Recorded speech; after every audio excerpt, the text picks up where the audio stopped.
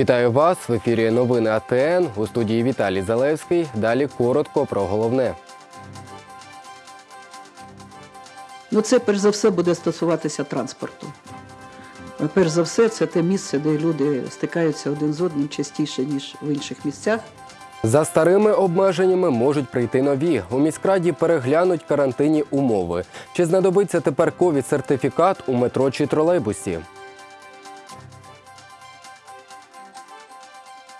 Щоб ми заставляли і казали, що е, які-то будемо там е, покарання, цього не було. Найсвідоміша громада області. У Липцях кажуть, що на тлі розпалу чергової хвилі пандемії в них практично немає нових випадків захворювань. Усе через щеплення. Большинство тротуаров у нас недоступны для людей, которые передвигаются на э, инвалидных колясках. Місто не для всіх. З якими проблемами зіштовхуються люди з інвалідністю та чи можна їх подолати у віддалених районах міста?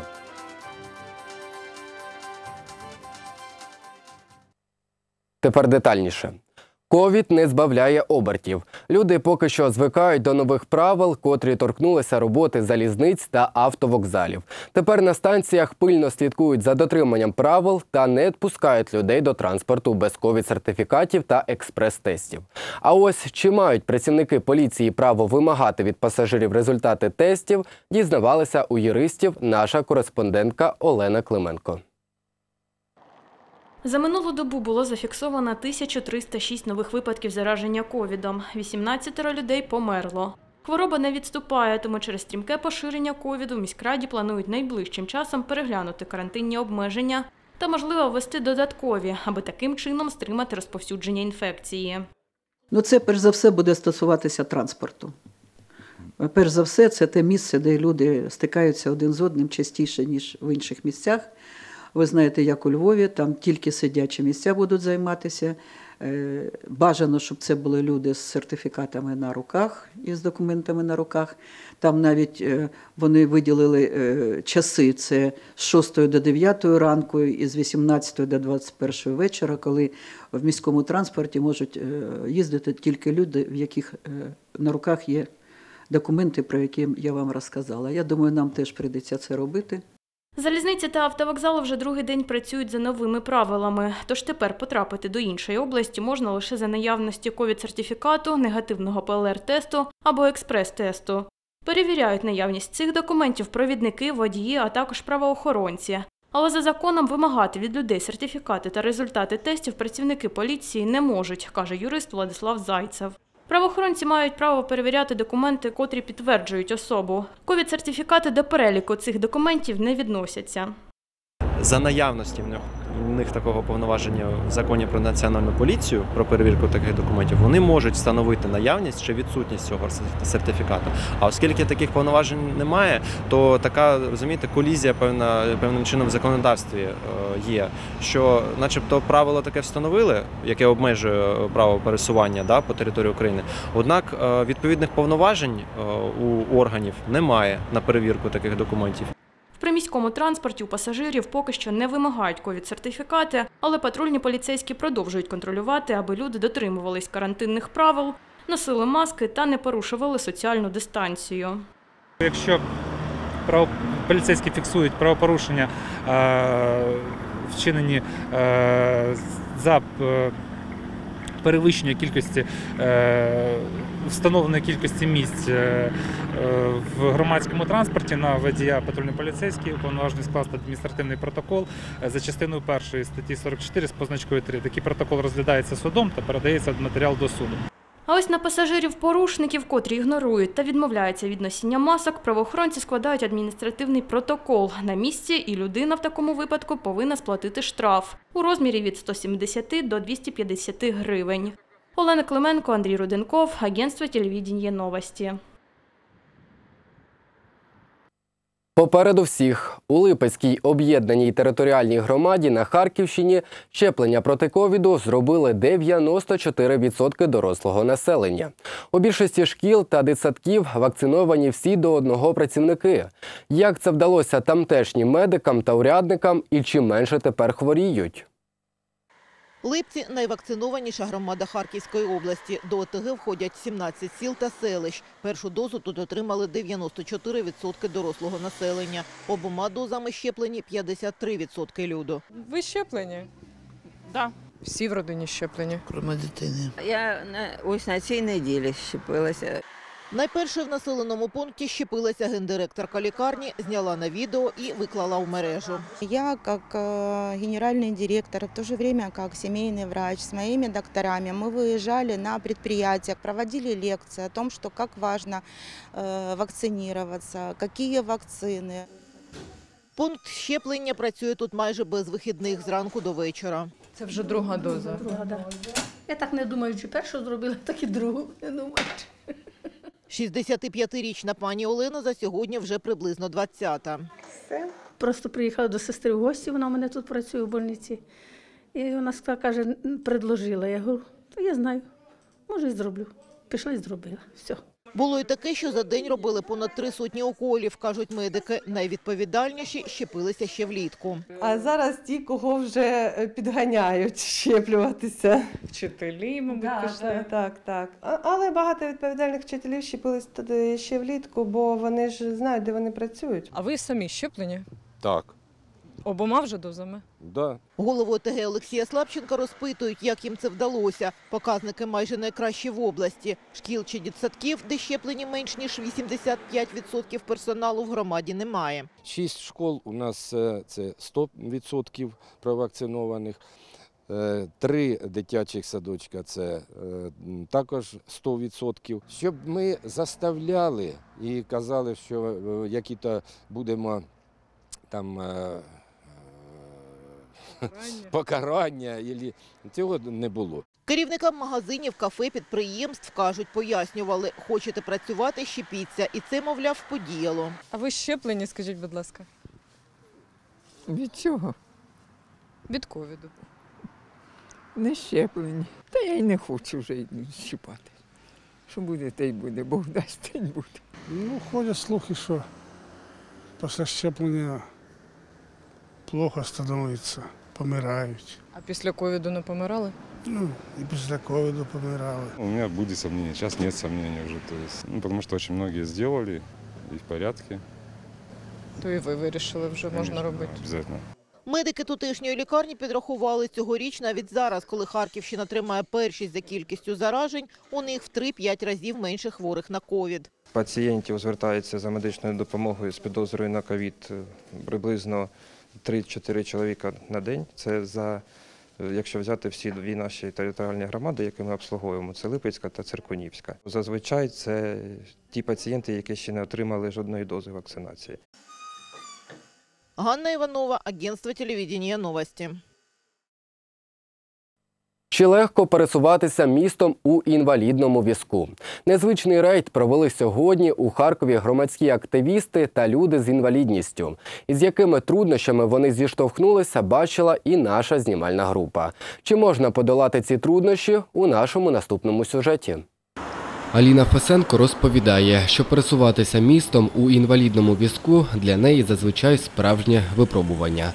Два рази на тиждень жінка відвідує школу іноземної мови, яка знаходиться на проспекті Науки. Там головним бар'єром для неї залишаються високі бордюри, через які вона просто фізично не може проїхати.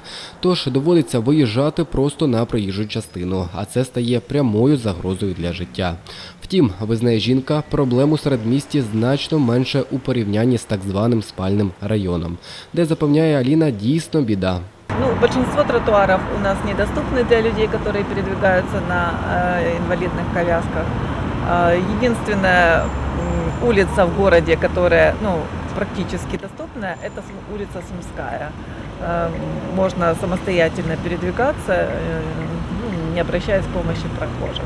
Недоступним для неї залишається і метро. Туди візочнику практично неможливо заїхати самостійно, тож доводиться користуватися лише наземним транспортом. Проте саме він здебільшого і найзручніший для використання. Відтак, 28 нових турецьких автобусів, які нещодавно почали курсувати містом, також облаштовані пандусами. А водії допомагають людям з інвалідністю заїхати в салон. Жінка визнає, що Харків поступово стає доступним, але цей процес проходить дуже повільна. Також часто пандуси встановлюють для галочки, що сильно впливає на безпеку людей з інвалідністю та дотриманням норм. Может быть, когда чиновник сам сядет, наши чиновники сядут на коляску и проедут хотя бы тот путь, который я проезжаю, ну или любой другой человек, который пользуется коляской. И, Может быть, тогда задумается. Или он- чтобы он на работу попытался добраться не на своей машине, а общественным транспортом.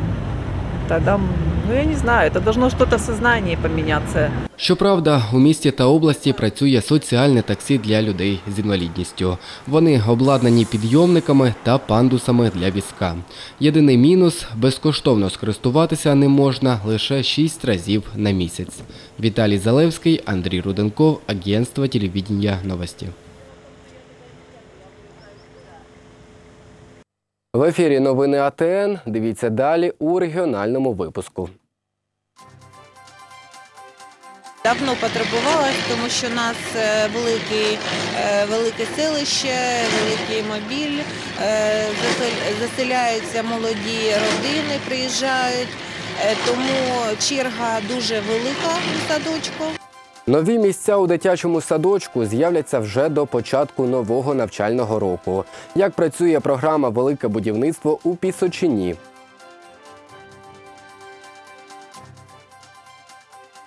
Ми задоволені тим, що е, ті обіцянки, які давало керівництво щодо закінчення першого етапу встановлення е, пилевловлювачих фільтрів, воно фактично е, обіцяно було до кінця цього року. Як ми бачимо, воно закінчилося майже на три місяці раніше. Повітря має стати чистішим. Новомет повідомив про те, що за домовленістю із громадськими активістами виконали свою частину угоди, причому навіть випереджаючи графіки. Она у нас с первого дня вип-персона. А сейчас тем более знает, что она у нас молодец, умничка. И получает еще больше. И любви, и массажа, и любой каприз исполняется. У харківському екопарку довгоочікуване поповнення. Перший, народжений в Україні тапір, почувається добре, але до відвідувачів ще не виходить.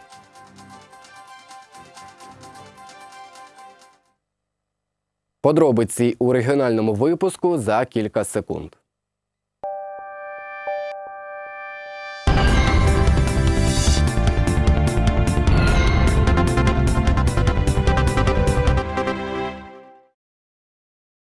Заклади освіти, установи охорони здоров'я та об'єкти культури до кінця 2021 року на Харківщині мають завершити роботи на семи об'єктах, що потрапили до програми президента. У Харківській ОДА розповідають, вже формують перелік робіт на наступний рік. Як тривають роботи на одному з об'єктів Пісочині далі. В Пісочинській громаді триває будівництво нового корпусу дитячого садочка Теремок. Роботи стартували на початку серпня, і наразі будівельники вже розпочали кладку цегли на другому поверсі. За словами виконроба Олександра Звягінцева, будівництво проходить навіть швидше затвердженого графіку. В подальшому темпи збираються нарощувати. По графику в этом году э, планируется э, собрать полностью, закончить кирпичную кладку, монтаж плит перекрытия, э, а также устройство кровли полностью, также остекление э, здания полностью по периметру. Вот. И э, планируется э, подать тепло э, до холодов и м, производить э, м, начальную стадию внутренней отделки, то бишь это заливка э, стяжек, полов, а также оштукатуривание стен. Наразі заклад відвідують приблизно пів тисячі дітей. А після зведення нового корпусу дитсадок зможе додатково прийняти ще 120 дітлахів. Для громади цей об'єкт вкрай важливий, бо наразі існує вже чимала черга до садочка. Відкрити новий корпус планують до 1 вересня наступного року. Давно потребувалась, тому що у нас велике, е, велике селище, великий мобіль, е, заселяються молоді родини, приїжджають, е, тому черга дуже велика в садочку. Другий об'єкт президентської програми в Пісочині – це будівництво басейну. Загальна вартість проєкту – 69 мільйонів гривень. Це гроші державного та місцевого бюджету, каже Пісочинський селищний голова Олег Чернобай. І басейн теж планують відкрити наступного року. Там буде два басейна. Перший басейн це дорослий, і розмір, розмір е, басейну буде 25 на 13 метрів. І другий це буде дитячий, і розмір буде 10 на 6. Крім того, на другому поверсі буде велика хореографічна зала. Цей об'єкт також розташований у густонаселеному пункті. Е, Вже є існуючий фізкультурно-оздоровчий комплекс, і він буде знаходитися поруч, що надасть можливість, знаєте, як е, дитину привести, щоб на плавання пішла, а дорослий пішов до тренажерного залу. Загалом на Харківщині реалізують 13 проєктів великого будівництва, розповідають у Харківській ОДА. І на більшості з них роботи мають завершити до кінця поточного року, а деякі вже ввели в експлуатацію. Це дитячий садок у Змієві та оглядовий майданчик Держпрому. Всі об'єкти, що мають бути завершені в цьому році, мають середній ступінь будівельної готовності 73,5%. Найвищий ступінь будівельної готовності це е, має об'єкт Палац культури міста Лозова. Е, залишилося е, виконати роботи з благоустрою території. Вони викону- виконуються в даний момент. Також ми очікуємо поставку. Е, Поставку скляних, е, скляних вітражів За словами Сергія Жукова, вже формується перелік об'єктів будівництва на наступний рік. А цьогоріч з різних джерел фінансування у рамках програми буде витрачено понад 600 мільйонів гривень. Христина Асика, агентство телевидения новості. Екологічна модернізація. На коксовому заводі Новомет встановили сучасні фільтри очищення повітря. На підприємстві відзначили, що проєкт модернізації розроблявся експертами більше року, а його реалізація стала можливою завдяки наполегливій позиції та співпраці активістів, представників місцевої влади та керівництва заводу. У рамках програми екологічної модернізації на коксовому заводі «Новомет» встановили німецькі фільтри для очищення повітря від пилу. На підприємстві кажуть, розуміють свою відповідальність перед людьми та навколишнім середовищем, саме тому пішли на дороговартісну інвестицію. Система полностью автоматическая. Она работает, включается в тот момент, когда э, работают механизмы в коксовом цехе, которые производят, скажем так, пылевые выбросы. Автоматически система включается, работает насос, вытягивает грязный воздух. Грязный воздух попадает в э, корпус фильтрации, фильтруется и после этого выдается через вот эту трубу вверх в атмосферу. Роботи з встановлення фільтрів виконала українська компанія «Техноком Центр». Її представники запевняють, із поставленою задачею впоралися раніше призначених термінів завдяки сприянню керівництва. Тож результатом задоволені. Оборудование это ли- э, как бы использовалось из лидирующих э, производителей по Украине. То есть, да, это отечественные производители, но, э, скажем так, лидеры в своей отрасли. То есть, как касательно вот воздуховодов, как я добавил, это компания Conor, которая производит их из немецкого материала. Э, Касательно, например, вентилятора, это украинский завод Укрвент, который лидер на своем рынке по промышленным вот именно вентиляторам, которые используются в таких системах.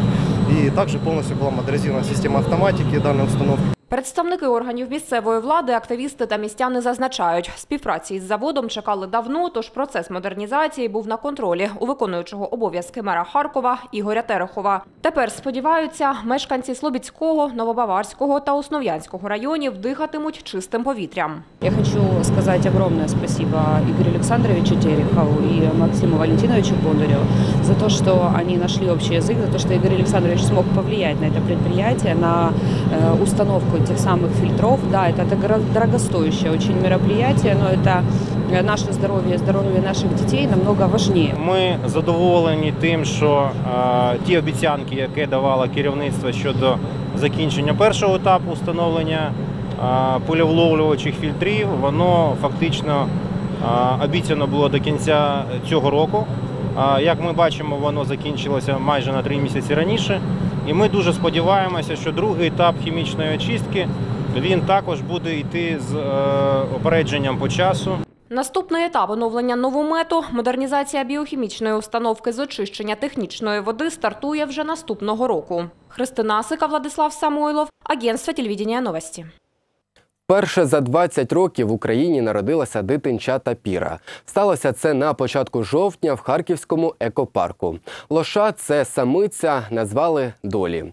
Пильнувати за немовлям батькам Далмі та Пінто допомагають доглядачі екопарку. Як почувається немовля, розкажуть наші репортери.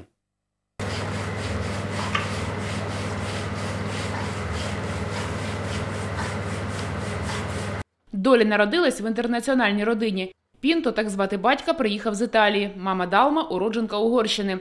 Долі – перше дитинчата Піра, народжене за 20 років в Україні.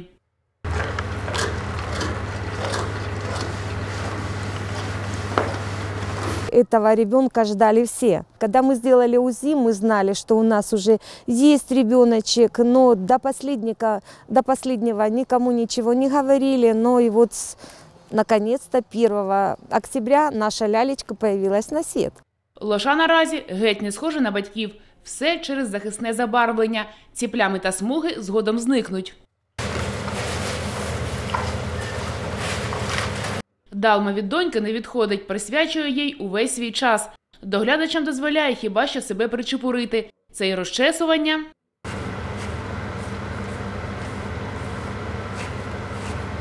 і обов'язково масаж. Она у нас с первого дня вип-персона. А сейчас тем более знает, что она у нас молодец, умничка. И получает еще больше и любви, и массажа, и любой каприз исполняется. У Далми й раціон особливий. Для молочка у нас, для жирности молока, она обожает орешки, она их получает. Она обожает бананчики, виноградик. Это она съедает в первую очередь, а потом уже и ф- э, пошли овощи. Слідом за мамою нові смаки, окрім материнського молока, досліджує і долі.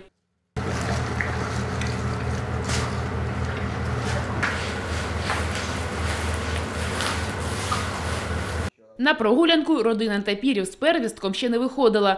Долі аж занадто замала. Відвідувачі екопарку зможуть побачити її навесні. Юлія Губська, Олександр Донченко, Агентство телевідення новості. Ви дивилися новини АТН. Більше повідомлень на нашому сайті atn.ua.